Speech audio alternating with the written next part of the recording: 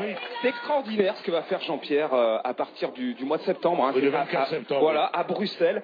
Ça va s'appeler la boîte à images. En, Oui. quelques, en quelques mots, Oh, est-ce qu'on pourrait raconter cette aventure? C'est difficile parce que c'est un projectionniste, il vit dans, dans un cinéma qui est fermé, il se souvient même plus quand il a fermé les portes du temps.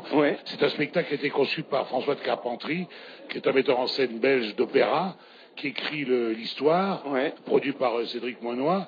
Et moi, je, je vais raconter l'histoire du cinéma, mais le cinéma que j'aime, celui que j'ai aimé. De- Depuis le muet. hein. Depuis le muet, on passe du muet au parlant, Ouais. avec le drame des acteurs du muet qui n'arrivaient pas à parler, et puis euh, et puis mes favoris au cinéma. Enfin, c'est une c'est une belle parabole, voilà. Et donc, ça sera dans un cadre très Ah oui. particulier. Ah oui, c'est on the road. Oui. Deux semi-remorques qui se transforment dans salle de spectacle, avec un plancher, un toit, un bar, des fauteuils, des tables. On boit tout ça en écoutant moi parlant de- du cinéma que j'aime. Ouais, c'est ça, on pourra consommer, boire un petit On verre. joue 158 écouter. fois en Belgique. C'est ça, donc jusqu'au jusqu'au 4 juillet. 4 juillet prochain Oui. 2016. En tout cas, c'est une chouette idée. hein. C'est une belle idée. oui. C'est sympa. Voilà. J'ai hâte de la voir.